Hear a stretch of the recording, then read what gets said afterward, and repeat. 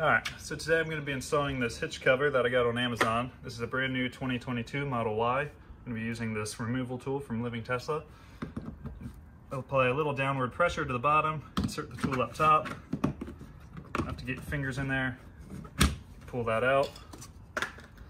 Take the new one, line up the tube to the hitch receiver, insert there. There's a little sideways motion here for so that it can fit any Model Y. Um, one-handed installation removal, pretty sweet. Uh, thanks and links below.